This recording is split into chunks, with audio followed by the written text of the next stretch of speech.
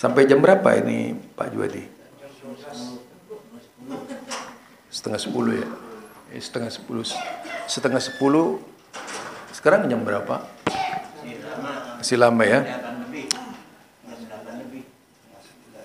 Ini saya ingin mengambil perkataan di dalam Mukaddimah Himpunan Putusan Tarjih Muhammadiyah. Ini saya bahas di berbagai cabang, termasuk hari ini di sini dibahas bahkan dibahas di PDM di tiga PDM ya saya kemarin tuh. Sekarang saya bahas di sini. Mukaddimah Tarjih Muhammadiyah tapi menarik untuk dibahas dan kita akan menggunakan syarah menggunakan syarah penjelasan dari kalangan para ulama dan ahli tahqiq ya dari ulama-ulama muktabarah para penyusun kitab hadis itu. Yaitu berkaitan dengan kondisi yang akan dan sudah menimpa kita sebenarnya. Sudah menimpa kita sudah terjadi kepada kita sehingga kita seolah-olah kehilangan arah. Kehilangan arah. Siapa yang dianggap pantas layak menjadi teladan hidup kita di dalam beragama karena ternyata yang disebut paham, kita tahu ya Bu, paham, namanya paham Bapak-Bapak, itu pasti yang namanya paham terkait dengan kelompok. Pasti itu. Ketika paham salah, itu akan membuat orang yang berpaham salah dilemparkan ke dalam neraka. Ini kemarin juga saya ceramahkan di masjid apa itu Pak Al Mubarak ya. Saya ceramahkan di Al Mubarak. Jadi ketika paham kita memahami agama dari kelompok yang salah, itu siap-siap bersama kelompoknya dilemparkan ke neraka. Jadi bersama kelompoknya bu nggak nanggung-nanggung. Artinya berjemaah masuk ke neraka. Nah, kita akan menyebut beberapa hadis di sini. Hadisnya yang pertama itu riwayat Abu Hurairah Muhaddis Al-Muhaddis Su'aib Arnaud Masdar Takhrij Sahih Ibnu Hibban Kemudian khulasah hukmul muhaddis hadis sahih hadis hasan. Ini yang pertama hadis hasan. Yang kedua disebut juga hasan sahih banyak hadisnya. Yang ketiga itu disebut sahih. Yang keempat disebut hasan sumbernya diambil dari kitab sahih dalailin nubuwah. Kemudian dari Ali bin Abi Talib. Muhaddisnya namanya yaitu ulama hadisnya namanya Sahawi nama kitabnya sumber yang dijadikan apa referensi adalah Ajwibatul Mardiyah. Lah itu. Kemudian tentang hadisnya tentang hadisnya keberadaan hadisnya yang dari Ali bin Abi Thalib ini isnaduhu layyin. Disebut sanatnya itu lemah. Tetapi tidak mengurangi kesohehannya karena banyak hadis yang sohe yang mendukung hadis ini. Apa sebenarnya yang dibicarakan? Yaitu perpecahan umat. Perpecahan umat itu tidak boleh tidak pasti terjadi terhadap umat Islam. Itu kewajiban yang harus terjadi kepada umat Islam dan umat Islam tidak bisa mengelak dari perselisihan. Umat Islam selamanya akan menikmati perselisihan. Nah, Perselisihan itu dilahirkan akibat oleh paham-paham yang ada dalam umat Islam. Salah memahami Islam itu akan menjadikan kelompok Islam sebagai sekte-sekte yang lahir di dalam Islam. Akhirnya Islam itu penuh dengan sekte. Sekte pemikiran. Yang masing-masing pemikiran itu ada pengikutnya. Jadi masing-masing pemikiran itu ada pengikutnya. Tidak nanggung-nanggung setiap pengikut itu punya pengikut. Satu golongan itu 70 ribu golongan, 70 ribu orang. Tujuh, setiap satu orang dari 70 ribu orang itu punya pengikut 70 ribu orang. Kalau dikalikan kira-kira berapa miliar itu ya? Berapa miliar? Nanti saya kasih tahu berapa jumlah orang yang masuk surga tanpa hisap. Mudah-mudahan kita masuk pada kelompok orang-orang yang masuk surga tanpa hisap. Nah, ini kalau diperhatikan di sini disebutkan tafarraqatil yahudu ala ihda wa sab'ina firqah. Yahidu, Yahudi itu pe, telah pecah 71 kelompok 71 golongan. Illa wahida, hanya satu saja yang masuk surga. Jadi di Yahudi itu, Yahudi itu umat, umatnya siapa? Umatnya Nabi Musa. Nah, yang masuk ke surga kelak itu cuma satu kelompok Yahudi. Yang dikenal dengan Bani Israel. Bani Israel itu di antaranya yang masuk masih berpegang teguh kepada ajaran Nabi Musa alaihissalam. Itu yang akan masuk surga. Yang mentauhidkan Allah, yang taat kepada Rasulnya, Rasul Nabi Musa alaihissalam ketika itu. Kemudian yang kedua itu di katakan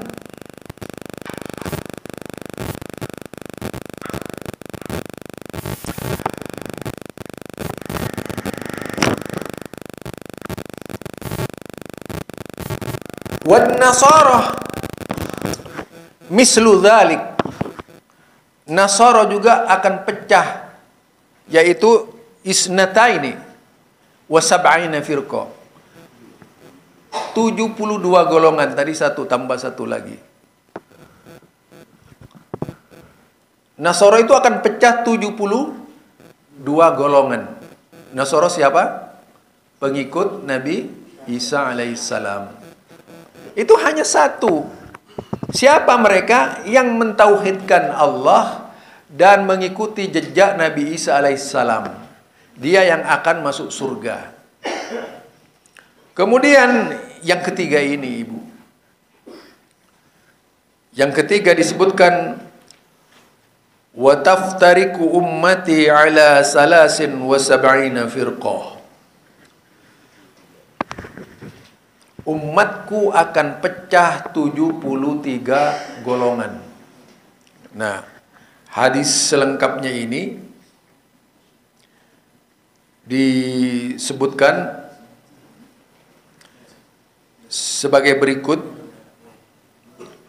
Dari rawinya namanya Muawiyah bin Abi Sufyan ala inna man qablakum min ahlil kitab. Yaitu ketahuilah bahwasanya orang-orang sebelum kalian dari kalangan ahlul kitab iftaraku ala sintaini wa sab'ina millah. Menggunakan kata millah yaitu mereka telah pecah 72 agama, paham.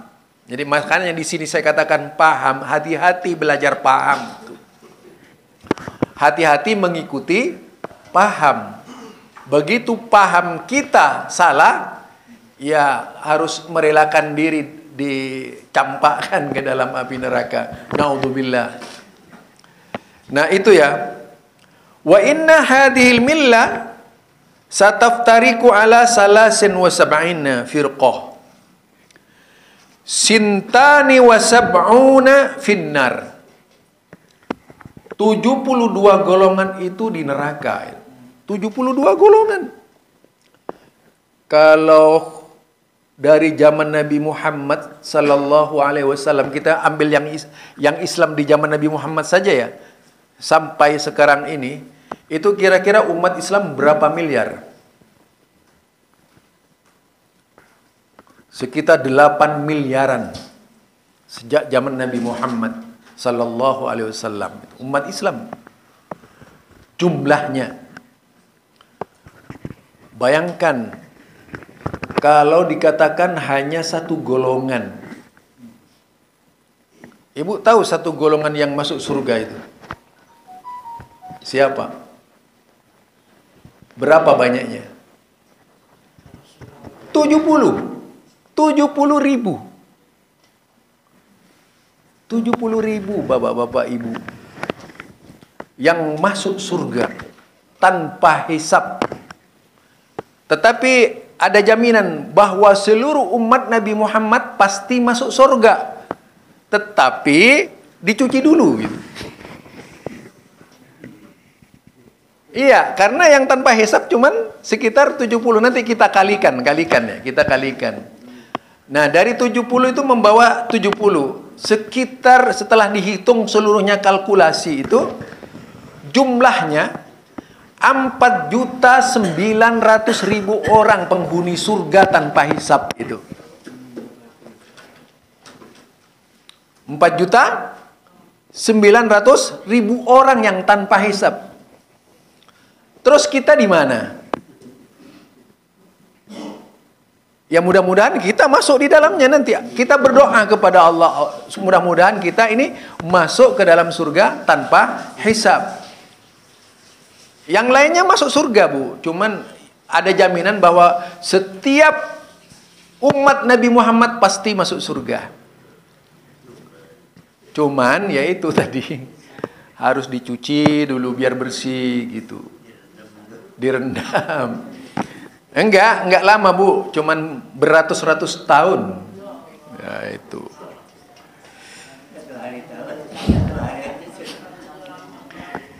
Ya, itu ya. Jadi di sini dikatakan al-i'tisam bi kitabillahi ta'ala wa bi sunnati nabiyhi sallallahu alaihi wasallam sabilun najah berpegang teguh kepada kitab Allah dan sunnah nabinya sallallahu alaihi wasallam sabilun najah adalah jalan yang selamat Al-Quran, As-Sunnah itu disebut dengan istilah Sabilun Najah. Jalan yang selamat. Orang yang konsisten, orang yang berpegang teguh kepada Al-Quran dan As-Sunnah. Tidak keluar dari Al-Quran dan As-Sunnah. Itulah yang disebut dengan Sabilun Najah. Jalan yang selamat Keinginan besar mengamalkan Al-Quran, keinginan besar mengamalkan hadis, itulah yang menyelamatkan kita. Kita dirangsang untuk senantiasa dekat dengan Quran, dekat dengan sunnah Nabi. Kemudian, wal amni minal fitan. Dan orang yang seperti itu aman dari segala fitnah, kuburan, fitnah, akhirat, dan insya Allah menempati surga orang seperti itu. Kalau mengikuti tadi al-i'tisam bi kitabillah, berpegang teguh kepada kitab Allah wa bi sunnati nabihi sallallahu alaihi wasallam. Yaitu berpegang teguh kepada sunnah Nabi Muhammad sallallahu alaihi wasallam. Kemudian wa fi hadal hadis yukhbiru Muawiyah bin Abi Sufyan radhiyallahu an dalam hadis ini Abi Sufyan memberitahukan ala inna Rasulullah sallallahu alaihi wasallam qama fina Ketahuilah sesungguhnya Nabi Muhammad sallallahu alaihi wasallam berdiri di tengah-tengah kami. Ayyi khatabana berbicara kepada kami. Faqala ala inna man qablakum min ahlil kitab?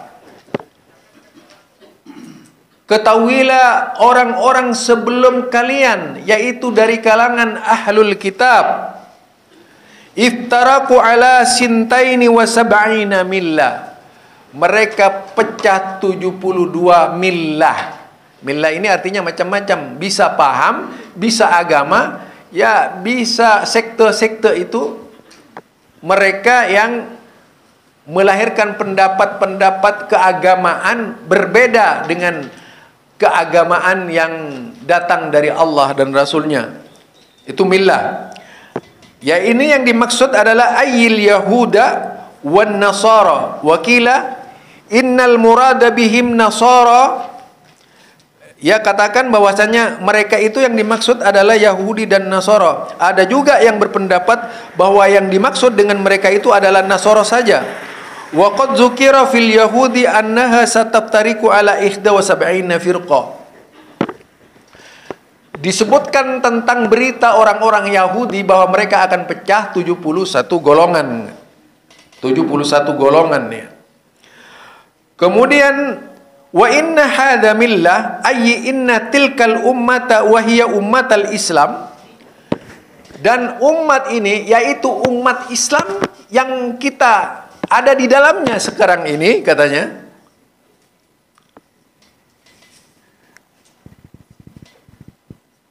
Sataf tariku ala salasin wasab'in akan pecah 73 sintani wasab'una finnar. 72 golongan itu di dalam neraka. 72 golongan di dalam neraka. Kemudian dikatakan Ayyi inna tilkal firaka allati satansha'u tataqawwanu fi tilkal ummati hum may yukhalifu ahlal haq fi usulit tauhid. Mereka semua yang masuk ke dalam neraka tersebut, siapa mereka? Dikatakan yaitu may yukhalifu ahlul haq yaitu mereka yang menyelisihi ahlul haq menyelisihi Al-Quran, menyelisihi As-Sunnah, itu yang akan dilemparkan ke dalam neraka. Umat-umat yang berpegang teguh kepada kaul-kaul yang tidak punya landasan dari Quran dan As-Sunnah, mereka yang akan dilempar ke dalam neraka itu. Wow, kalau kita bicara masalah Quran dan As-Sunnah itu di YouTube bu, pasti dibule itu bapak-bapak. Jadi dibule oleh mereka itu.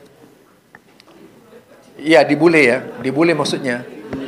Kalau kalau bully ini kan bahasa bahasa Indonesia, saya pakai bahasa Madura bu tadi. Orang mau menang itu.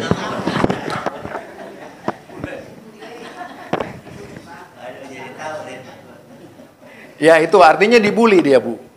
Oleh oleh kalangan youtuber-youtuber dari dari kalangan buzzer itu, dari buzzer-buzzer pasti kita dikatakan ah sedikit-sedikit balik Al-Qur'an. Emangnya Nabi Muhammad sudah masih ada gitu. Jadi menurut mereka tidak perlu kita kembali kepada Quran dan As-Sunnah. Itu biasanya kelompoknya besar di YouTube tuh. Setiap kali kita berbicara Al-Quran dan As-Sunnah itu dihina habis-habisan nggak nanggung-nanggung Nah, di situ jelas sekali dikatakan mereka yang menyelisih tauhidnya tidak sama dengan Nabi, tauhidnya tidak sama dengan sahabat Nabi, tauhidnya tidak sama dengan tabi'in, tauhidnya tidak sama dengan imam yang empat, ibadahnya tidak sama dengan Nabi, ibadahnya tidak sama dengan para sahabat, ibadahnya tidak sama dengan tabi'in, ibadahnya tidak sama dengan para ahlul hadis tadi itu. Nah, mereka-mereka ini yang dipastikan masuk neraka atau menciptakan agama sendiri. Nah, itu ya agama sendiri. Kemudian dikatakan di sini wa jazaohum bidzalikan nar. balasan untuk mereka itu, neraka itulah yang menjadi balasan buat mereka. Jadi neraka itulah yang menjadi balasan bagi mereka yang menyelisihi Al-Quran dan As-Sunnah. Kemudian wawahidatun fil jannati.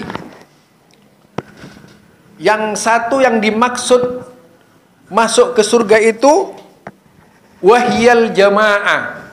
Yang dimaksud adalah al jamaah. Man manil jamaah? Apa itu jamaah? Al jamaah kaumun mujtami'un. Jamaah itu adalah kelompok yang bersepakat min ashabin nabi wat tabi'in yaitu dari kalangan para sahabat Nabi dan tabi'in. Wa tabi'ahum bi ihsan ila yaumiddin. Dan mereka yang mengikuti jejak-jejak para tabi'in dengan cara yang baik. Mereka itu disebut ahlus sunnah wal jamaah. Jadi meskipun kita teriak-teriak ahlus sunnati wal jamaah, perilakunya tidak sama dengan masa lalu, dalam hal berakidah, dalam hal beribadah itu dipastikan kita terlepas dari ikatan orang-orang yang terikat dengan ahlus sunnati wal jamaah. Kalau di Muhammadiyah itu tidak menggunakan istilah ahlus sunnati wal jamaah. Kalau kita baca di Tarjih Muhammadiyah di bab awal kita menyebutnya dengan istilah al-firqatun najiyah. Al-firqatun najiyah itu membedakan dari kelompok-kelompok yang lainnya. Artinya adalah kelompok yang selamat. An-najiyah. Sampai untuk selamat ada orang yang bikin salawat namanya salawat tunjina. Nah, tunjina ini salawat namanya salawat najiyah, selamat selawat yang membuat orang selamat namanya aja. Nah, itu Ibu. Jadi nah dikatakan di sini ayyi innal firqatan najiyah baina haula'i hum al jama'atu min ahlil alam.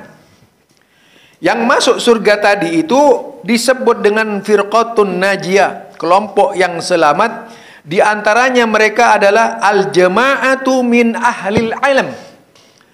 Mereka adalah para ulama yang konsisten berpegang teguh kepada Quran dan As-Sunnah dan seluruh pengikut-pengikutnya itu. Jadi kalau ulamanya mengajarkan hal-hal yang tidak benar, ya nanti bermakmum kepada ulamanya ke neraka bersama-sama gitu. Seperti itu. Saya kemarin nonton sebuah ritual agama di yaitu Tarim. Tarim itu daerah mana? Hah? Tarim itu Yaman. Tarim ini daerahnya para Habib. Jadi Habib-Habib asalnya dari sono. Hadramut ya itu kota Tarim ada kuburan yang disinyalir kuburannya Nabi Hud. Ya, yang disinyalir kuburannya Nabi Hud. Lah itu orang yang terkenal di Indonesia ini dipuja-puja sebagai keturunan Rasulullah bahkan sebagai uh, rois dari para keturunan Rasulullah di Indonesia, gurunya mereka semua itu mereka memimpin tawaf di kuburan. Iya, memimpin tawaf. Begitu saya tayangkan ini, saya YouTube diserbu sekitar hampir 15 ribu orang. Ada yang menghujat dan sebagainya. Nah, di situ nampak sekali bahwa kehilangan umat Islam itu kehilangan arah. Tempatnya tawaf itu bukan di kuburan.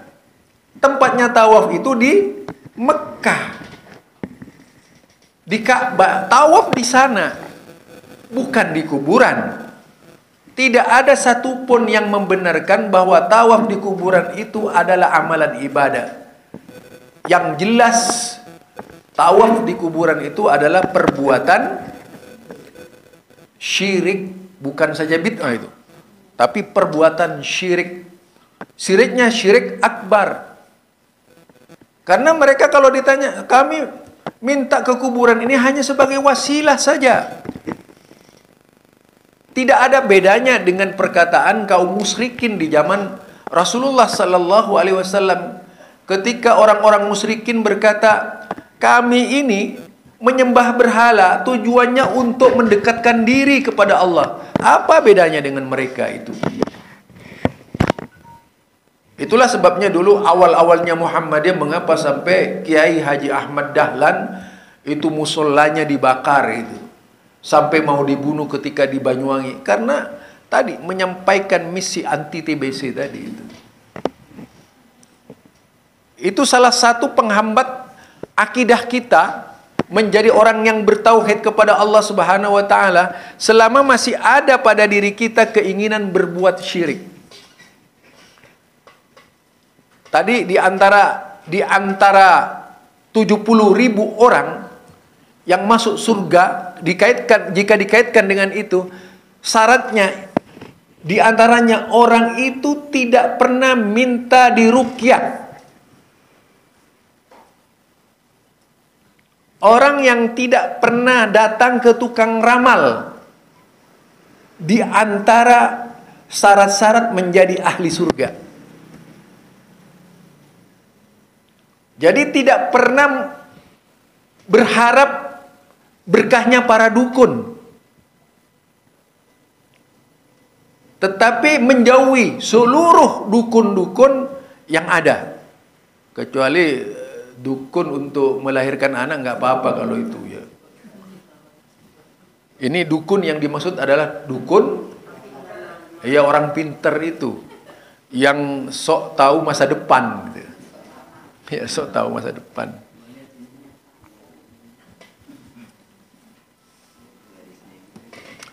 Nah, itu jadi di antaranya itu tidak pernah tidak orang yang masuk ke surga tanpa hisap tadi di antaranya orang yang tidak pernah ke dukun tuh. Orang yang tidak pernah ke dukun. Jadi kalau misalnya oh iya ya saya pernah ke dukun. Nah mulai sekarang bertobat bertobat. Kemudian uh, di set, di antara firqatun najiyah tadi disebutkan adalah para ulama dan pengikutnya. Kemudian yaitu ahlul fikih. Nah, ahlul fikih ini ulama fikih yang jujur. Ulama fikih ini ada yang tidak jujur, ada yang jujur Bapak-bapak Ibu. Biasanya ulama-ulama fikih yang tidak jujur membenarkan perbuatan bid'ah.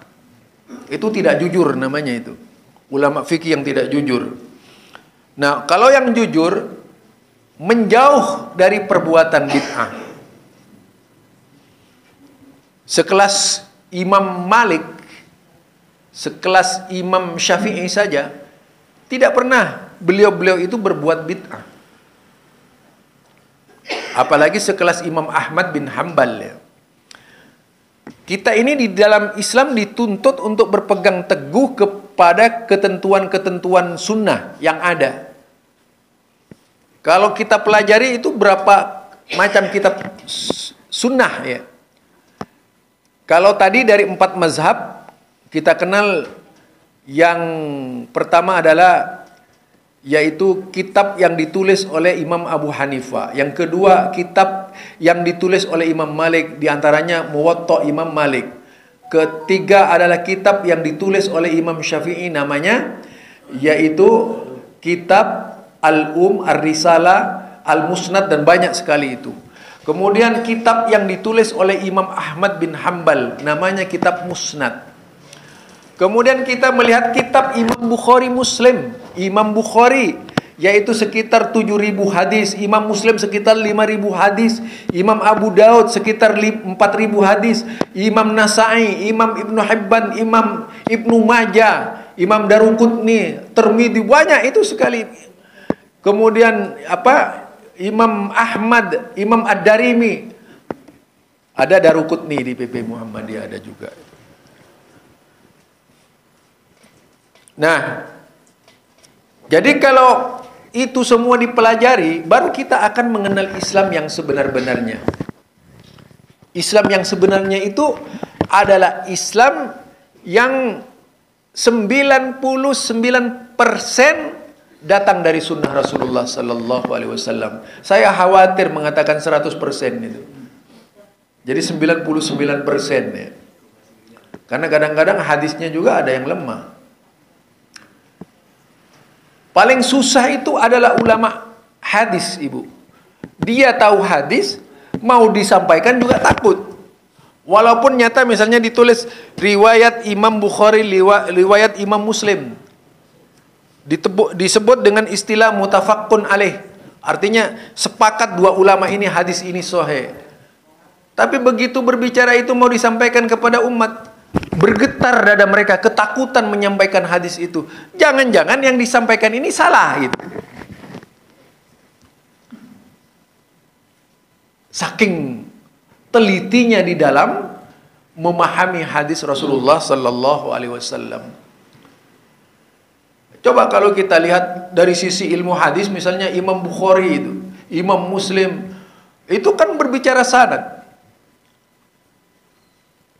Di dalam kitab Imam Bukhari saja ada beberapa hadis kalau dikumpulkan hanya dari sekitar sembilan orang perawi hadis yang ada di dalam kitab Imam Bukhari, pengaruhnya itu besar terhadap hadis Bukhari. Karena orang ini dituduh mudallis. Mudallis artinya orang yang meriwayatkan hadis, tapi sebenarnya bukan dia yang meriwayatkan hadis, orang lain gitu. Tapi mengatakan bahwa dialah yang meriwayatkan hadis dari Rasulullah Sallallahu Alaihi Wasallam. Itu mudallis namanya. Nah ini banyak di Imam Bukhari. Artinya dikhawatirkan hadis ini bisa saja lemah gitu. Itu jumlahnya tidak nanggung mempengaruhi sekitar 2000 hadis Imam Bukhari. Tidak sedikit itu. Nah, untuk membenarkan bahwa yang diambil dari hadis Imam Bukhari itu memang benar-benar sahih, maka diperlukan hadis-hadis yang lain. Sebagaimana yang sudah saya terangkan tadi itu, ada hadis Muslim, ada hadis Abu Daud, Nasai, Turmidi, Ibnu Majah, kemudian Imam Ahmad bin Hambal, Imam Malik, Ad-Darimi dan sebagainya. Itu semua adalah kitab-kitab hadis. Kalau di zaman Imam Bukhari sampai 7009 hadis ya ditemukan itu. Dari 900 hadis diseleksi jadi 7000 hadis itu. Berarti Coba 900 ribu hadis. Tinggal 7 ribu hadis. Berarti yang tidak dipakai itu adalah 800 8 apa 800 ribu 8 eh 80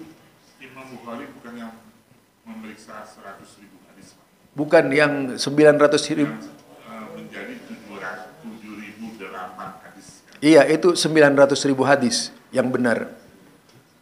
Ya sembilan ratus ribu hadis itu.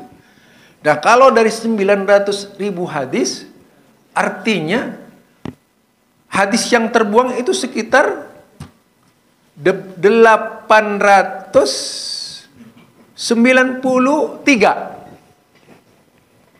893 ribu hadis dibuang. Nah itu pun masih belum lepas dari hadis hadis mudallis tadi. Belum lagi hadis-hadis yang dipengaruhi oleh Rafidah yang menjadi rawenya Imam Bukhari itu. Di dalam kitab Imam Bukhari itu ada Rafidah. Demikian kalau kita melacak ilmu Bapak-bapak Ibu. Jadi tugasnya kalau di majelis tarjih Muhammadiyah itu sangat berat. Harus menguasai tadi itu ilmu hadis sedemikian rupa untuk membuktikan bahwa hadis yang disampaikan kepada umat itu memang benar-benar hadis gitu. Bukan hanya sekedar kila wakala. Tapi memang benar-benar hadis yang datang dari Rasulullah sallallahu alaihi wasallam. Nah, ini yang disebut dengan istilah tadi. Ahlul fikih di bidang hadis. Mereka harus belajar mustalah hadis, belajar rijalul hadis. Rijalul hadis ini belajar orang-orangnya hadis. Ya, belajar pokoknya semua dipelajari. Sehingga bisa pada akhirnya mengetahui esensi hadis atau hakikat kebenaran hadis itu. Ini yang banyak tidak dipelajari, Bu. Makanya sulit untuk menjadi seorang ahli tarjih yang benar-benar ahli tarjih itu. Karena harus belajar sanat hadis sedemikian rupa. Semua ibadah yang di Muhammadiyah ini ditentukan oleh majelis tarjih Muhammadiyah. Kalau salah, majelis tarjih itu ikut berdosa itu. Jadi tidak main-main tugasnya majelis tarjih. Nah, itu yang kedua. Yang ketiga itu berkaitan dengan al-mujahidin. Kalangan mujahidin. Itu yang telah akan masuk surga. Mereka yang membela agama. Mereka yang menyampaikan dan mendakwakan agama Allah Subhanahu wa taala. Tidak pernah terhalang dirinya untuk menyampaikan kebenaran kepada umat manusia. Ada umat dakwah ada umat ajabah. Lah kita mendatangi umat dakwah itu lebih sulit. Karena tantangannya kalau sekarang begitu masuk pagar orang lain bisa kena undang-undang yang disebut dengan undang-undang hak asasi manusia itu. Tidak boleh kita mengajak orang lain masuk agama Islam. Padahal itu adalah perintah. Hingga kita harus pandai berpolitik di dalam hal ini. Nah, saudara-saudara kita yang paling getol mengangkat isu Islam ini, menggempur habis-habisan orang-orang di luar Islam. Kita mengenal kalau di YouTube itu dia bintangnya bahkan ditakuti oleh seluruh pendeta di Indonesia. Usianya masih muda. Usianya mungkin sekitar 20 30-an lah. Tapi orang ini luar biasa cerdas menguasai bahasa Ibrani. Injil Ibrani dia di luar kepala gitu. Jadi tidak ada pendeta di Indonesia ini yang betul-betul mahir seperti dia. Tahu bahasanya Nabi Isa langsung. Yang disebut dengan bahasa Aromaik. Dia mengenal anak itu tuh.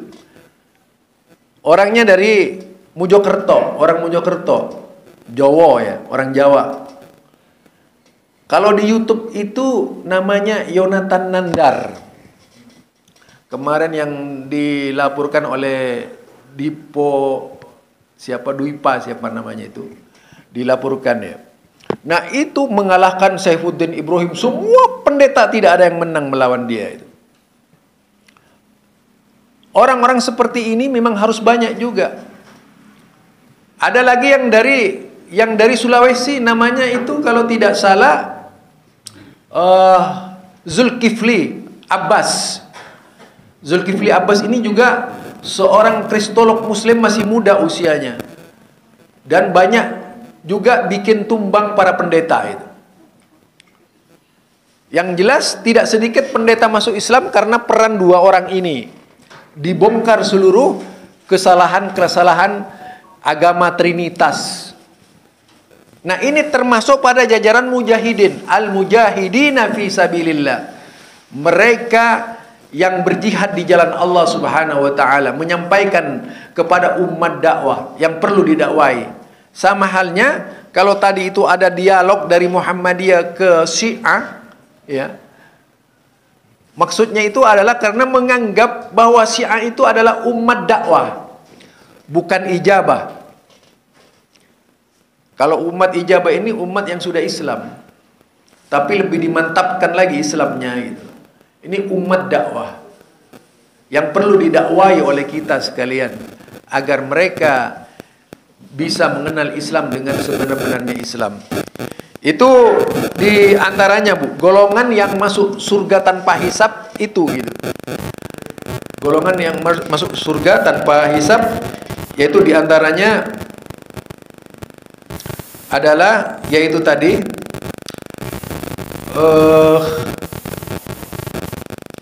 kemudian yang dipakai oleh Muhammadiyah wal mujahidina fi sabilillahi wal amirina bil ma'ruf. Kemudian wan nahina anil munkar. Setelah mujahid itu kemudian al amirin yaitu mereka yang amar ma'ruf al amirina bil ma'ruf hamba-hamba Allah yang amar ma'ruf Mengapa di Muhammadiyah itu amar ma'ruf baru nahi mungkar? Apa sebabnya? Sebenarnya ya kita dituntut memiliki banyak kebaikan dengan karunia dan anugerah Allah, rezeki yang diberikan oleh Allah kepada kita. Mendakwai seseorang yang lapar itu diperlukan ma'ruf terlebih dahulu yaitu memberikan menolong membebaskan kesulitan orang yang lapar jadi menolong orang-orang yang kesulitan contohnya Umar bin Khattab itu pernah dilaknat itu Bu, oleh orang miskin ketika mendatangi ketika Umar melakukan patroli kan dia masuk ke suatu rumah yang di situ ternyata memasak kerikil, bukan nasi itu, kerikil. Ibu kenapa memasak ditanya oleh Umar. Enggak tahu kalau orang itu Umar yang datang kepada ibu itu. Ibu kenapa melaknat Umar? Iya, Umar itu kejam, kami tidak dikasih makan gitu. Padahal Umar ada di depannya dia. Langsung Umar itu lari, Bu. Lari ke istananya, dia mengambil beras, lalu dipikul sendiri diberikan kepada ibu itu. Katanya si ibu tadi e, bapak itu lebih baik dari Umar katanya. Padahal yang dibilangin adalah Umar gitu. Hingga pada akhirnya orang itu datang ke rumahnya baru tahu kalau dia itu adalah Umar gitu. Nah, itu artinya di sini untuk mendakwai seseorang yang misalnya lemah imannya tapi kondisinya sangat memprihatinkan maka itu yang dilakukan menolong mereka terlebih dahulu. Itu namanya amar ma'ruf. Nahi mungkarnya belakangan. Contoh yang dilakukan itu bukan dilakukan siapa namanya menteri sosial pak? Hah? Burisma ya? Burisma. Waktu masih menjadi wali kota di Surabaya sebenarnya bukan hasilnya wali kota Surabaya itu membersihkan membersihkan prostitusi di Surabaya. Itu kerjanya Muhammadiyah. Kenapa kita katakan kerjanya Muhammadiyah? Di wilayah itu tidak ada seorang pun yang bisa membangun yang berani membangun masjid. Kecuali Muhammadiyah mendirikan masjid di tengah-tengah lokalisasi. Itu kerjanya Muhammadiyah. Kemudian bikin apa buka poliklinik, apotek dan sebagainya. Akhirnya ibu-ibu ibu-ibu yang biasa seperti itu masuk ke dalam yaitu tadi ke apa poliklinik, ibu keluhannya apa? Ini ini oh bu, kalau bisa saya sarankan ya ibu tinggalkan saja hal seperti itu. Di situ banyak juga anak-anak yang tanpa bapak yang ditampung oleh Muhammadiyah, bukan Bu Resma itu. Jadi itu amar ma'ruf yang dilakukan oleh Muhammadiyah pada akhirnya ditangani oleh Bu Risma setelah tinggal sedikit sebenarnya dari mereka itu. Seperti di Jalan Demak Surabaya itu. Dan sebagainya ya. Itu Bapak-bapak, Ibu, jam berapa ya? E, peristiwa dari perjalanan dakwah Muhammadiyah. Kemudian di sini dikatakan alladzina jatama'u 'alal i'tisam bi kitabillahi azza wa jalla. Mereka lah yang bersepakat untuk berpegang teguh kepada kitab Allah Azza wa Jalla wa ittiba'i asarihi alaihi salatu wassalam wa sunnatihi dan ittiba mengikuti petunjuk Rasulullah sallallahu alaihi wasallam dan sunnahnya. Kemudian dikatakan wabta'adu 'anil bid'ah wat tahrif. Kemudian yaitu menjauhkan diri dari segala perbuatan bid'ah wat tahrif wat taghyir yaitu juga apa namanya merubah-rubah ajaran Allah dan Rasulnya. Nah inilah kelak yang akan mendapatkan warisan surga tanpa hisab. Jadi mereka ini yang kelak akan menerima surga tanpa hisab. Summa qala uh, sallallahu alaihi wasallam wa innahu sayakhruju min ummati aqwam. Sesungguhnya akan keluar dari umatku suatu kaum yaitu tajara bihim tilkal ahwa yaitu mereka yang apa mengumbar hawa nafsu gitu.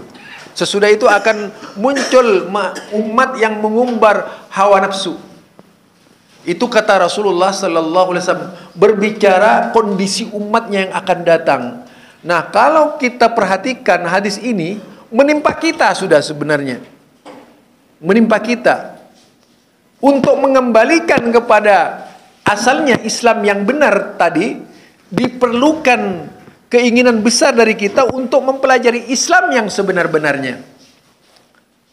Dimulai dari tauhidnya dulu, dimulai dari tauhidnya sehingga kita mengenal tauhid yang benar-benar datang dari Rasulullah sallallahu alaihi wasallam. Yang kedua, kemudian ibadahnya, ubudiyahnya itu benar-benar adalah ibadah yang mencerminkan perilaku ibadah Rasulullah dan para sahabatnya. Kemudian kita mencoba menghiasi diri dengan khulukun Nabi, yaitu akhlaknya Nabi Muhammad sallallahu alaihi wasallam. Akhlaknya Aisyah mungkin kalau ibu-ibu ya. Akhlaknya Hafsah dan akhlaknya para istri Nabi. Mungkin itu Itulah kelak yang akan menjadi tiket bagi kita sekalian lepas dari siksa Allah Subhanahu wa taala. Kita tidak bisa menganggap remeh kondisi yang akan datang. Umat anak cucu kita itu tergantung kepada kita. Anak cucu kita tergantung kepada kita. Sejauh mana perhatian sebagai seorang bapak yang kelak menjadi kakek terhadap cucu-cucu kita. Ketika salah didik, maka generasi yang akan datang bukan membuat kita mendapatkan pahala jariah tapi kita justru akan dialiri oleh dosa jariah. Mudah-mudahan kita anak cucu kita seluruhnya berada dalam bimbingan Allah Subhanahu wa taala. Itu barangkali kesimpulannya kita memang sangat perlu sekali kembali kepada Quran dan As-Sunnah dan harus menjadi rutinitas pilihan hidup kita di dalam beragama dan berpandangan hidup sehingga kita benar-benar berada di jalan Allah Subhanahu wa taala. Ini saja barangkali nanti mungkin lebih kurangnya bisa ditanya. Subhanakallahumma wa bihamdika asyhadu an la ilaha illa anta astaghfiruka wa atubu ilaik. Assalamualaikum warahmatullahi wabarakatuh.